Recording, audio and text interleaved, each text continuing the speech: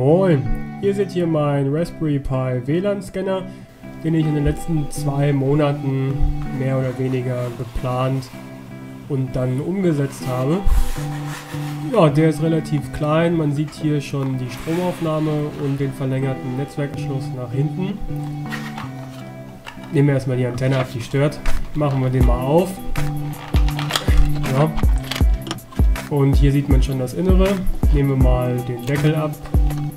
Im Deckel ist ein Avus WLAN-Adapter sowie ein Navilog GPS-Dongle verbaut. Da beim Avus-Adapter keine Bohrlöcher vorhanden sind, habe ich hier Haarklammern genommen und einfach Schrumpfschlauch drüber gezogen.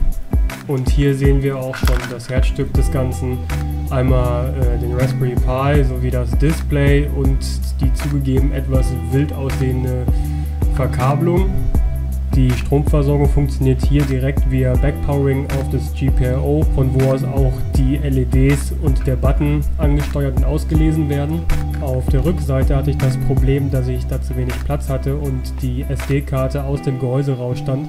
Und die eleganteste Lösung dafür ist der Low-Profile SD-Adapter von Adafruit, mit dem ich äh, jetzt Micro-SD-Karten nutzen kann. Und weil das so cool ist, zeige ich das mal kurz. Hier haben wir die normale Karte, hier der Adapter Mini-SD-Karte.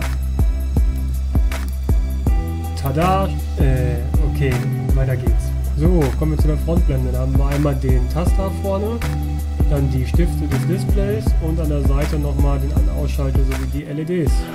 Da ich nach außen hin zwei weitere USB-Ports brauche, versteckt sie als letzte Komponente unter dem Raspberry noch ein USB-Hub. So viel zu den inneren Werten und das nutze ich außen. Kabel, Strom fürs Auto, Strom für zu Hause, zweiter Abos-Adapter mit Halterung. Weg damit, Strom dran, zweite Antenne und ein USB-Stick. Als Betriebssystem nutze ich äh, derzeit ein PonePi 3.0. In der RC Local liegt dann ein Python-Skript, welches beim Booten ausgeführt wird und äh, das Display ansteuern kann, beziehungsweise mit Kismet äh, redet und auch den GPS-Dongle handelt.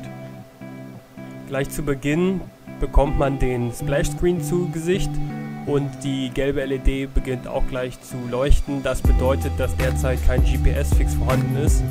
Allerdings reden wir jetzt hier nur von der Ortung selber. Die Uhrzeit wird automatisch anhand von den Satelliten erkannt und dann auch dementsprechend nach Zeitzone eingestellt, wie gerade geschehen.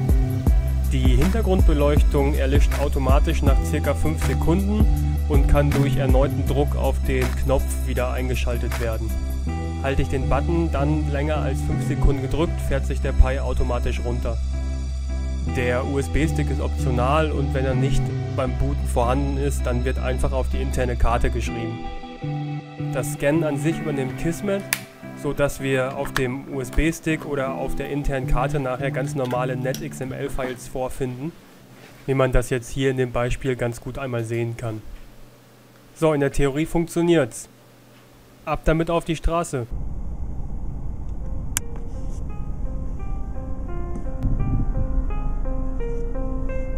Und wie man hier jetzt gleich sehen wird, bekommt man draußen unter freiem Himmel auch sehr viel schneller einen GPS-Fix.